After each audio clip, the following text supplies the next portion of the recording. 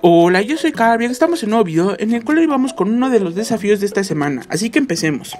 El siguiente desafío nos dice que hay que saltar por los aires con una lancha. Bueno, para hacer este desafío yo te recomiendo que vayas a Campo Caligine, ya que ahí puedes encontrar una lancha y de hecho puedes saltar por lo que sería la presa. Como se sabe, pues en la presa hay como una especie de agujeros por donde tú puedes saltar, ya sea nadando o como digo, para hacer este desafío con la lancha. Únicamente saltarías por ahí y yo creo que ya te contaría para este nuevo desafío. También hay unas pequeñas rampas que puedes encontrar a lo largo del mapa, de hecho estarás viendo en el video donde yo la encontré en pantano pegajoso. Lo que también puedes hacer ahí es como enfilar la lancha hacia la rampa y utilizar el turbo para eh, salir un poco por los aires y que también te cuente para este desafío.